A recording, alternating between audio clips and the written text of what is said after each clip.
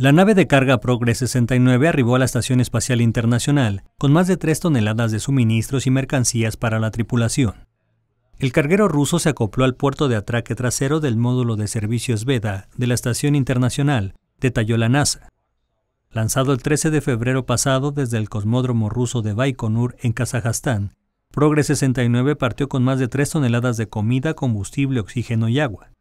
Asimismo, material científico para continuar con los experimentos que se realizan a bordo de la estación, expuso la Agencia Espacial Estadounidense, Notimex.